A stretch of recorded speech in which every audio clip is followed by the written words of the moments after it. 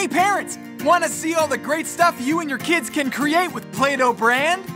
Check it out! Cupcakes, hamsters, rainbow dash, scuba diver, and a stash. Play-Doh flowers and ice cream hair. A fire pole and teddy bears. Decorating Play-Doh cakes. Just look at all that you can make. Fish and seaweed letters too. There's oh so much that you can do. Subscribe right now, it's not too late to check out all you can create.